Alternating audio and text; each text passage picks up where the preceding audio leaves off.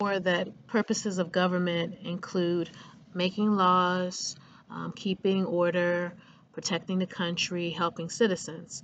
And so when the government is doing these things, it's acting um, out their inherent powers. So you can think of inherent powers um, similar to being part of a family. Um, certain things you're going to inherit, genes you're going to inherit, things because you are a member of this family. So because government is government, it has to do certain things. And even if it's not um, explicitly spelled out in the Constitution, it has to fulfill the functions of government. So those are inherent powers.